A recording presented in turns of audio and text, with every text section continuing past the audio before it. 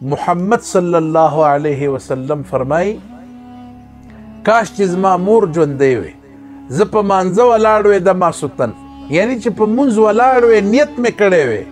او زما مور आवाज کړې وې چې محمد و چې ما با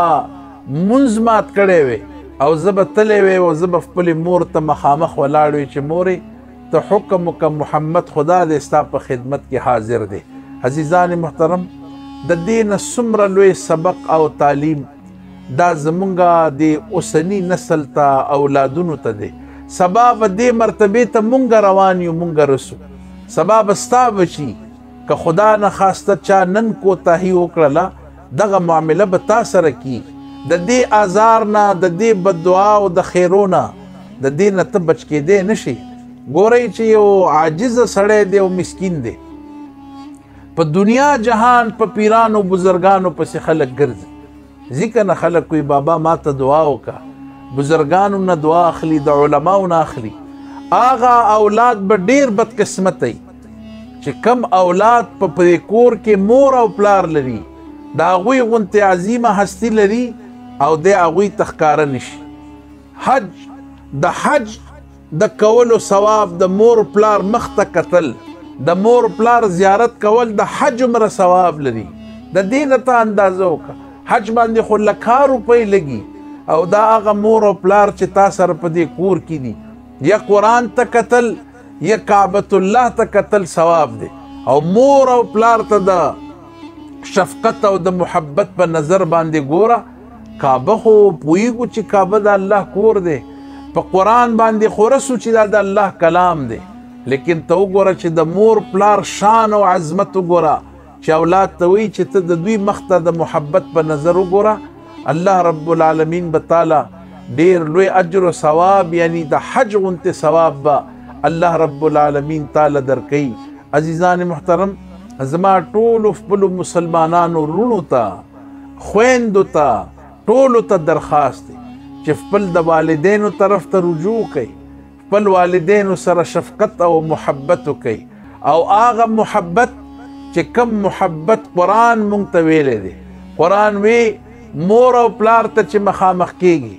نو سترګې به اوچتې نه ساتي سترګې به ښکته ساتي لکه په پښتو کې چې مونږ وایو سړی چاته وی چې لکه چپ شو ګوره اوف ونه کی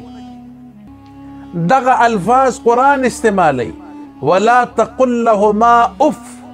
چې خپل مور او پلار ته ځې چې ستا سترګې ښکته یعنی ته د بې ادبۍ په نظر او د بې ادبۍ په طریقه باندې خپل والدینو ته پیش نشي او خیال کوه چې خپل د والدینو په مخ کې چې ته گفتگو کې پاغې کې شور بدتمیزي کنزل سپکاوي تا ته ویلي دي اوفونه کې ګورې چې مور پلار مخې ته ودرېږي دومره د مور او د پلار شان او عظمت دی الله اوف به ورته نه او چې کله ته دوی سره خبرې کې نو خبرې به په دې شان باندې کې چې ډېر په اعلی په خوبصورت لهجه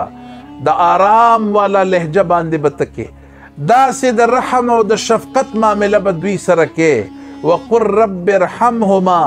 کما ربیانی صغیره ګوره الله راته اصل یادوي وایي سترګې مه پټوه ته ما هغه ماشوم وې چې دې مور او پلار په دې غېږو کې لوبولی وي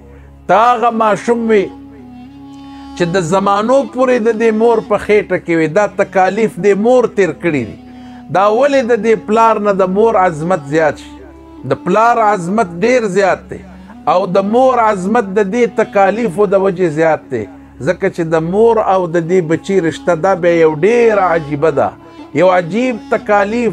او یو عجیبه سلسله ده چې د څو میاشتو پورې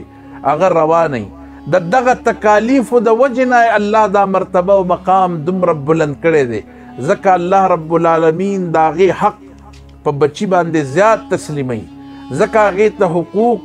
او د هغې آداب زیات ذکر شوي او بیان شوي دي د هغې نه دا مراد نه دی چې خدا نه خواسته د پلار حق نشته پلار خو هغه سړی دی چې دا مور د هغه تابع ده دا مور چې د پلار خدمت وکي یعنی د خپل خاون خدمت وکي د دې د پاره جنت دی لیکن بهرحال د مور مرتبه او مقام عزیزان محترم ډیر ده نو الله را تاسل یادې وې دوی سره به ماغه سي د رحم او د شفقت معاملې کې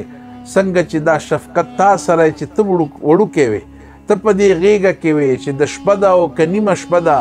ټایم وخت او نا وخت معلوم نه دی لیکن مور د دې بچی د پاره زیریدا او دا ستړې کولې